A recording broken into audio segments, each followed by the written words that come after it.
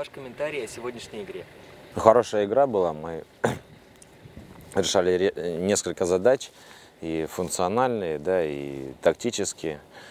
И я считаю, что мы все, все решили.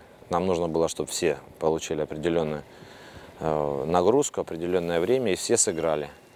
Э, на самом деле очень рады, потому что первая игра, и ребята ждали ее. И, хорошо, хорошо держали темп с первой минуты.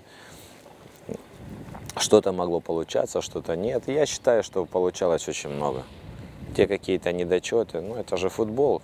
э, ребята под нагрузками, так что ничего страшного. Э, В целом хорошая командная структура была. Здорово, здорово, что сыграли. Хороший спарринг.